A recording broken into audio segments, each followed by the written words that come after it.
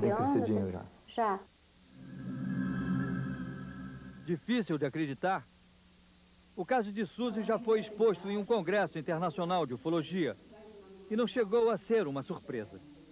Os especialistas que ouviram a psicóloga Gilda Moura, que investiga a história há anos, também apostam na tese das experiências genéticas. O caso da Suzy chega a ser um caso único na história da ufologia brasileira? Não, o caso da Suzy não é único, nem na ufologia brasileira, nem na ufologia mundial. Tá? Já tem relatos de milhares de casos como esse, não só nos Estados Unidos, como aqui no Brasil. Só no meu consultório eu já tenho vários. Mas como acontecem esses sequestros? Tanto na história de Suzy, como na do filme, seres estranhos surgem na casa das mulheres escolhidas e as carregam para lugares que depois elas mal conseguem lembrar. A brasileira Suzy precisou se submeter a uma hipnose regressiva para recordar esse momento. Eu tinha uma memória bastante clara de uma certa noite, de um desses dias em que eu estava num local onde o meu corpo flutuava. Testes eram feitos nos meus braços e eu tinha vários tubos na boca, no nariz, e foi retirado um óvulo meu. Olha, nós temos diversas descrições dessas experiências, né? mas, de um modo geral, elas seguem um padrão. Tá? Um dos padrões é aquele que a Suzy já relatou, e um segundo seria uma inseminação, que nós não sabemos se o óvulo é retirado, é geralmente com um aparelho como um tubo de um aspirador, é um por sucção, tá? e depois esse óvulo é inseminado e reintroduzido, ou se ele já é inseminado no, na própria pessoa e o feto é geralmente retirado entre 3 e 4 meses de idade.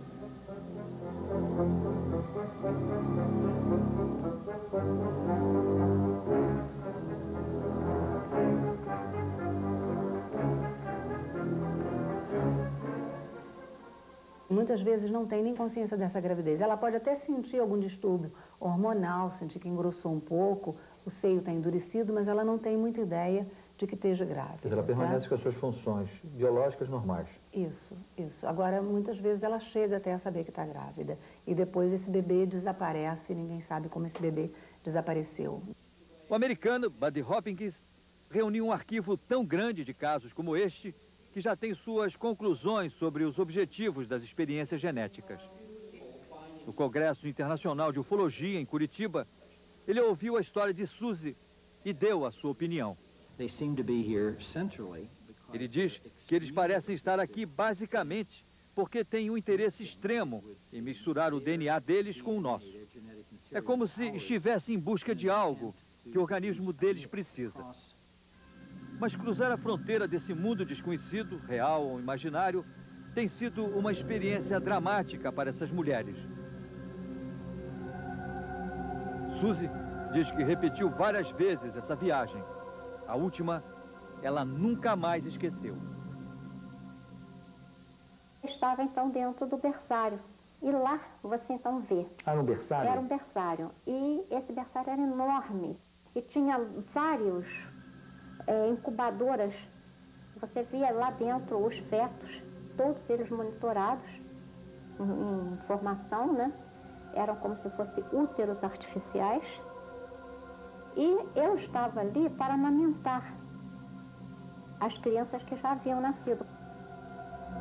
Mais tarde, eu me lembro que eles me apresentam uma criança e diz que aquela criança era o meu arquivo genético. E quando eu olhei, eu não tenho, eu costumo dizer sempre isso, eu não tenho palavras no dicionário para descrever a sua emoção, a minha emoção, o meu sentimento. Ai, minha irmã. Eu não posso olhar o céu hoje como qualquer pessoa. Eu não tenho uma parte espiritual perdida lá em cima. É um pedaço meu que me toca profundamente, que eu sei que está vivo lá.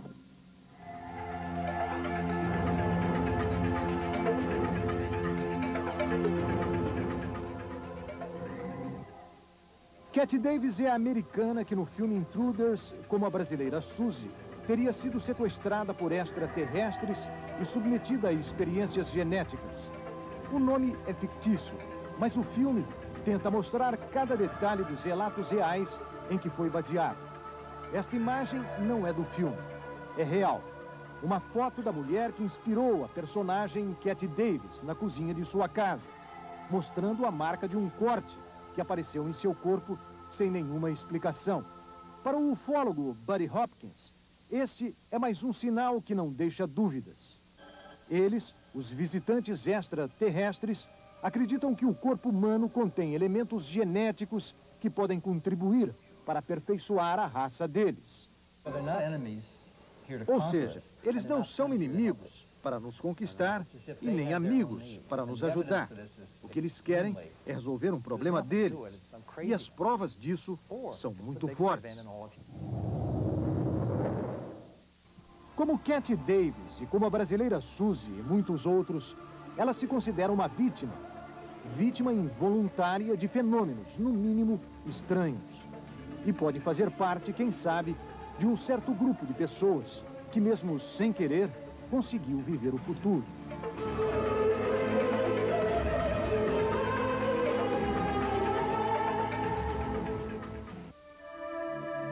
Seria a mula sem cabeça um disco voador?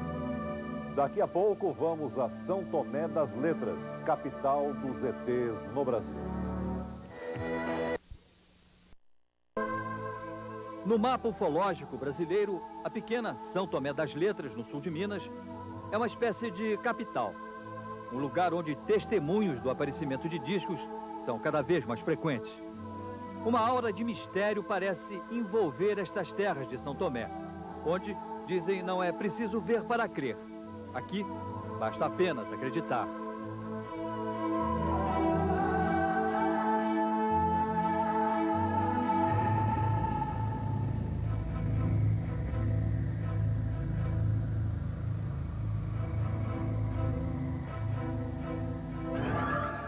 A cada pôr do sol, a cidade se prepara. É a promessa de mais uma noite de busca, encanto, magia e muita expectativa. Nos fins de semana, sempre que anoitece, a cidade de São Tomé das Letras transforma-se num grande observatório.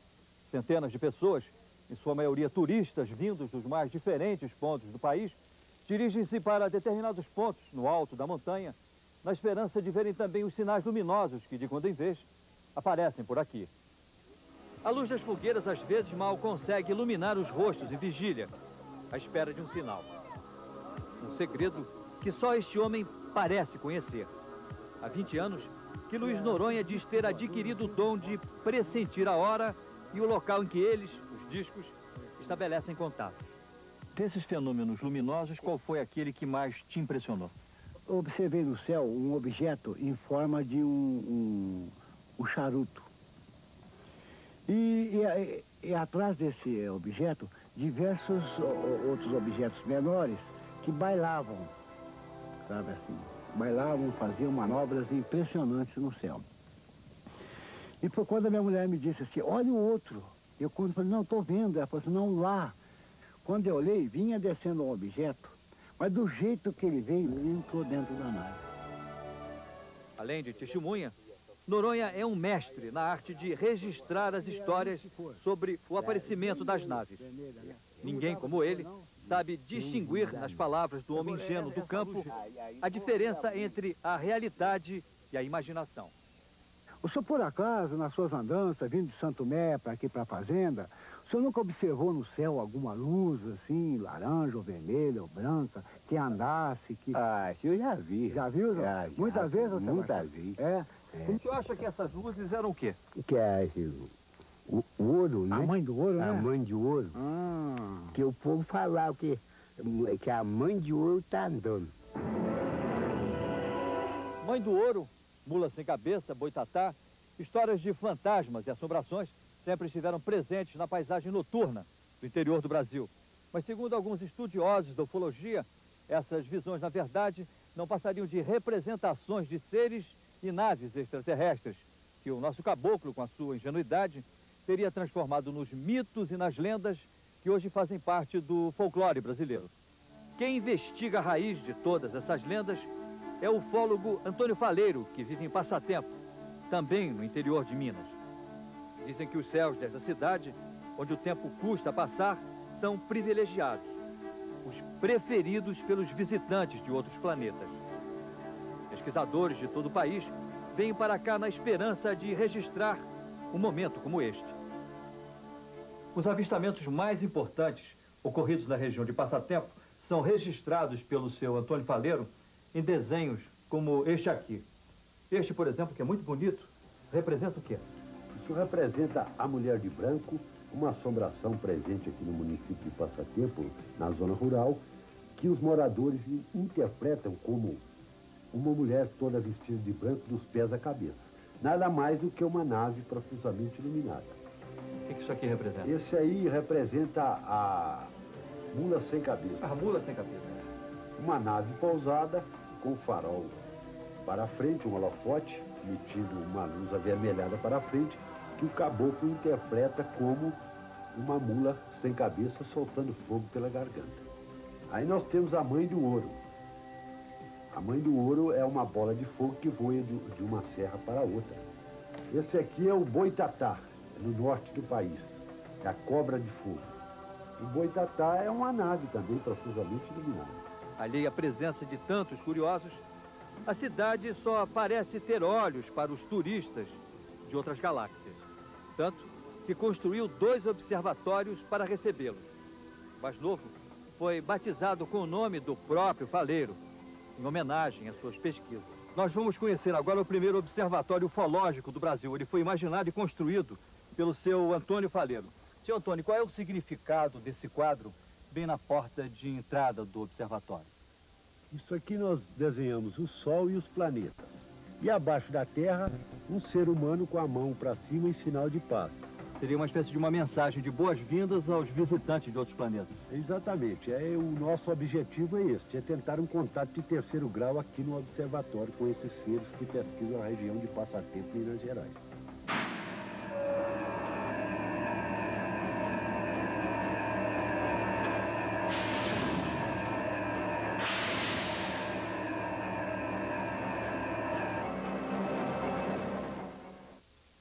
Exatamente aqui que você fez o teu primeiro contato? Exatamente. Como é que foi?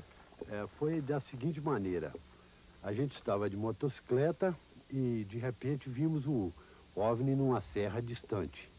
Estava pairando a baixa altura sobre uma mata. Com muita luz? Com muita luz.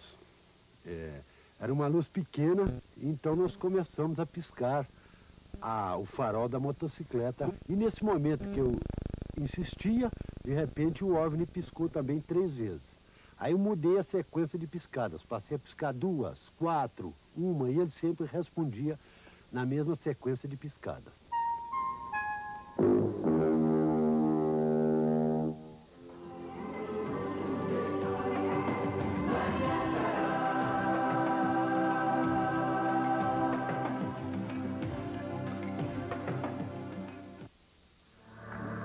Os moradores de uma rua inglesa veem uma esquadrilha de UFOs. Seria alucinação coletiva? Você vai ver daqui a pouco.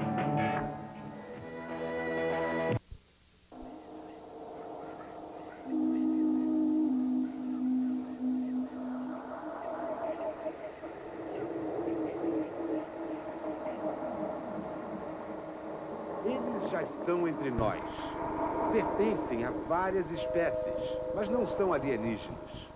Você pode encontrá-los nos lugares mais insuspeitados e eles se reproduzem muito rápido. Eles, os ufólogos. O estudo dos objetos voadores não identificados com este nome de ufologia tem menos de 50 anos. Durante esse meio século, aqui na Grã-Bretanha, por exemplo, as associações de ufologia vêm registrando uma média de 100 casos por ano, desde avistamentos até contatos do terceiro grau. Timothy Good é um best-seller garantido. Com mais de 30 anos de vigilância celeste, ele é quase um mito na comunidade ufológica. Timothy Good teve acesso aos arquivos da NASA, a agência espacial norte-americana. Ele nos mostra páginas e páginas de documentos secretos. Longos trechos foram totalmente apagados. O Sr. Good diz que é uma forma de proteger as fontes e os métodos de obtenção de informações.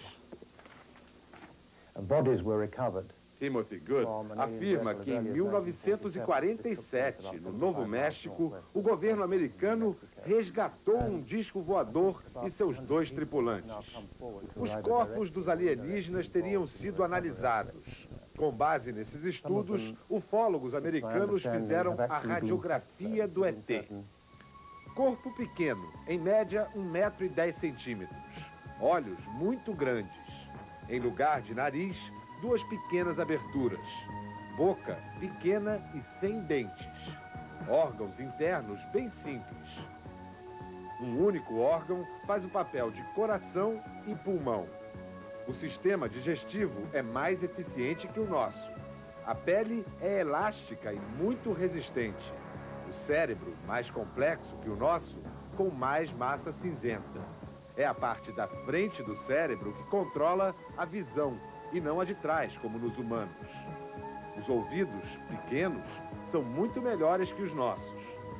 Eles possuem um órgão desconhecido que elimina as impurezas. Tem quatro dedos nas mãos e quatro dedos nos pés.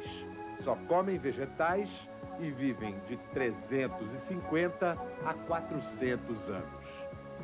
A nave que os americanos capturaram teria sido estudada e até testada no ar.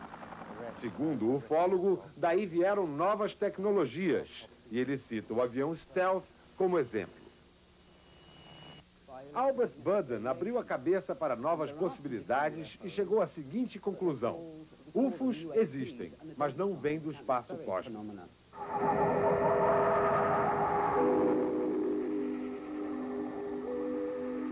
São experiências induzidas por radiações eletromagnéticas geradas pela própria Terra. Em vez de objetos não identificados, o professor Budden os chama de fenômenos atmosféricos não identificados. Quando se chega muito perto de um desses fenômenos, afirma Albert Budden, são criados estados alterados de consciência. Daí, as histórias de avistamentos, contatos e raptos seriam todas reais, mas aconteceriam dentro do cérebro.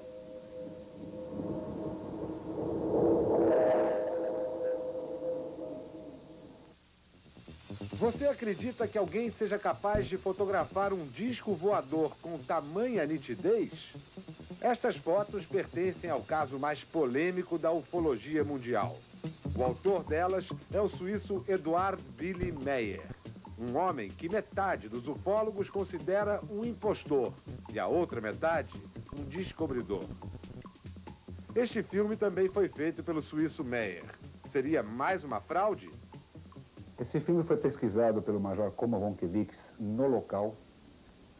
Ele verificou que essa árvore nunca existiu. Uma outra coisa, o objeto ele faz movimentos ao redor da árvore, tipicamente como movimento pendular, ou seja, como se tivesse um, um fio acoplado no objeto aqui em cima. Eu acho que é uma fraude esse filme.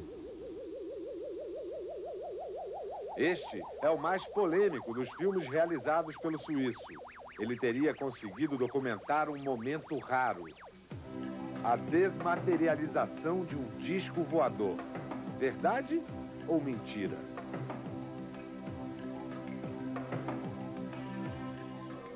Determinadas análises que foram feitas mostram que quando o objeto desaparece e depois torna a aparecer, há um processo em que há um corte da foto e o encaixe de uma sequência posterior, como se fosse feita uma edição, como se fosse feita uma emenda.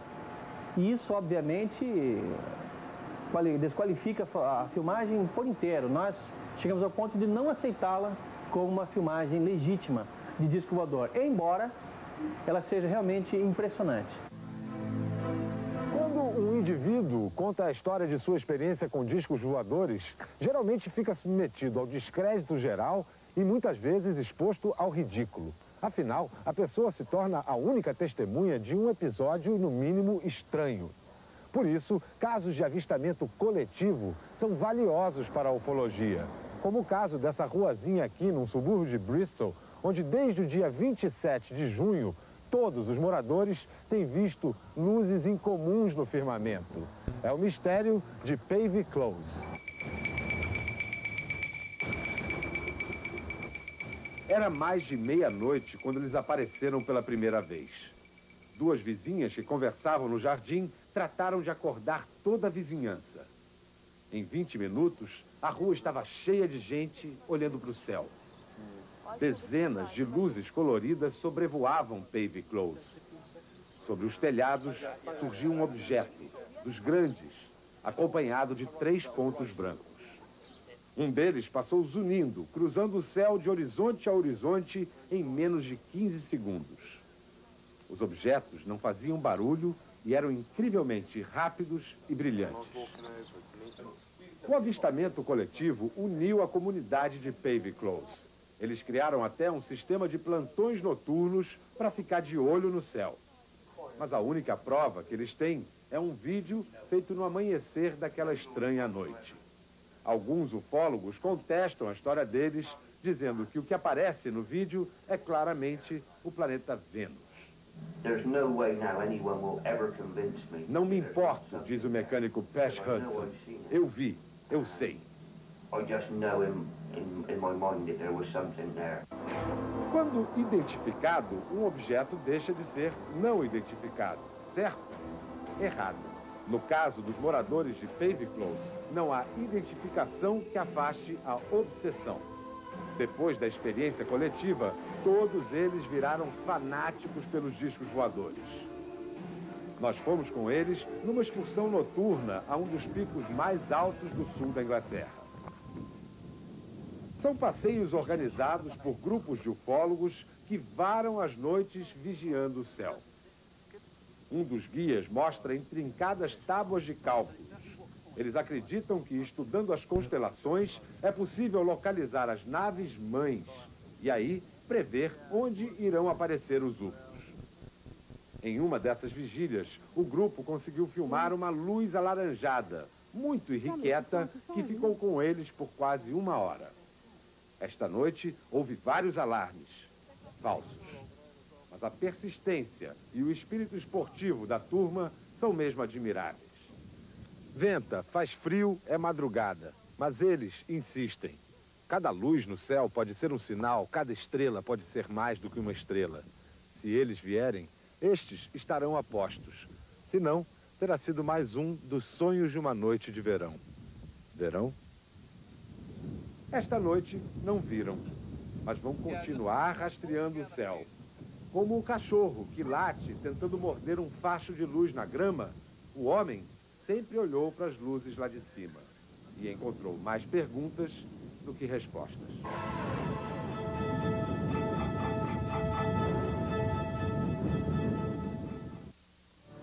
O piloto russo convence seus chefes. Discos voadores derrubaram dois caças pilotados por ele. Você vai ver daqui a pouco. Sequência do voo e do pouso de uma mancha escura nos confins da Sibéria. Uma esfera misteriosa fazendo evoluções nas montanhas do Cáucaso. Estes retratos em branco e preto são as evidências mais fortes que se pode encontrar na Associação Ufológica da Comunidade de Estados Independentes. Países onde até bem pouco tempo atrás, câmeras domésticas de vídeo não existiam. Segundo um dos mitos mais recorrentes na literatura ufológica, os soviéticos guardariam os maiores segredos sobre o extraterrestre. Corriam histórias de contatos entre astronautas soviéticos, recordistas de permanência no cosmos, e alienígenas na órbita da Terra. O problema, de acordo com os ufólogos, era a KGB, que escondia toda a informação. Os ufólogos eram tratados como dissidentes, conta o mais respeitado pesquisador de UFOs da Rússia, Vladimir Ajajá. Vários foram internados em hospícios. O Comitê Central tinha uma lista negra dos que cometiam a tal pseudociência da burguesia decadente. Depois de agosto de 91, ufólogos russos exigiram e conseguiram acesso aos arquivos secretos da KGB sobre objetos não identificados. Constatamos que não se tratava de um trabalho sistemático e científico, afirma o professor Ajajá. Encontramos dois mil documentos, mas eram todos estudos e relatórios ocasionais. A maior parte, testemunhos de pilotos de avião que viram coisas estranhas no céu. Frequentemente, pilotos de aviões voltam à Terra com relatos de avistamentos de objetos não identificados. Aqui na Rússia, um piloto que voou bem mais alto, um astronauta, tornou-se o presidente da Associação Ufológica da Comunidade dos Estados Independentes. O astronauta Pavel Popovich, condecorado duas vezes herói da União Soviética. Quais foram os motivos que o levaram a tornar-se presidente dessa associação? Alguma história pessoal? A única vez que vi algo não identificado foi num avião, indo de Washington para Moscou, diz o cosmonauta. Moscou? Popovich garante que as histórias de contatos imediatos em torno da Terra são invencionices.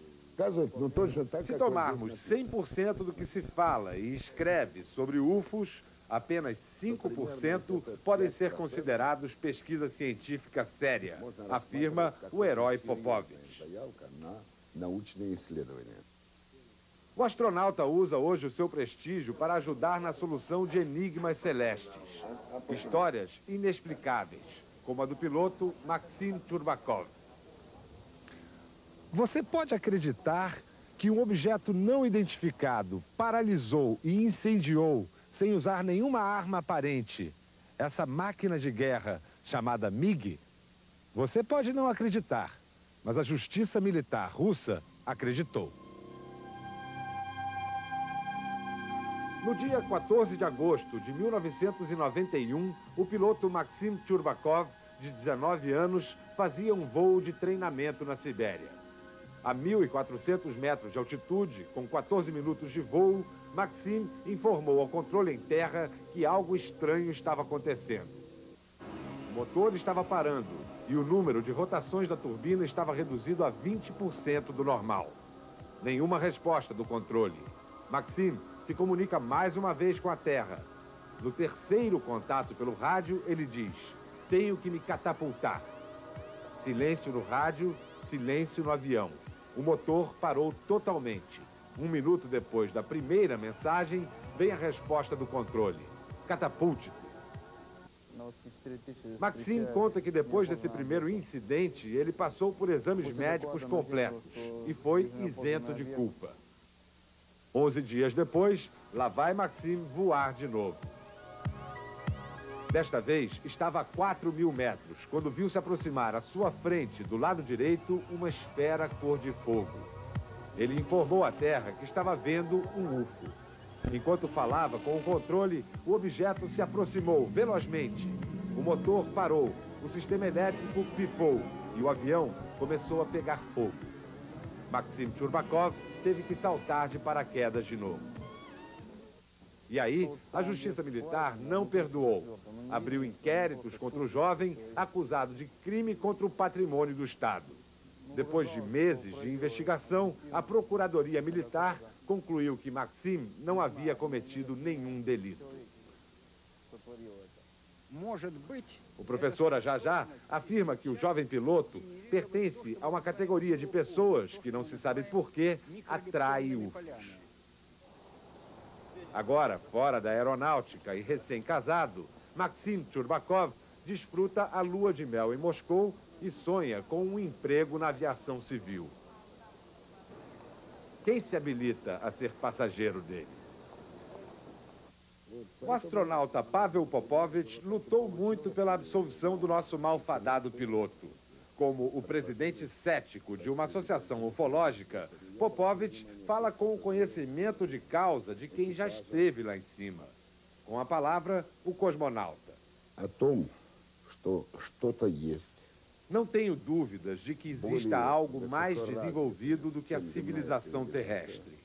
Não sei como isso se chama. Razão superior? Deus? ET, mas isto existe. Me convenci disto quando fui ao cosmos e vi esse enorme mundo infinito em movimento e harmonia. Não tenho mais dúvidas. Nós não estamos sozinhos.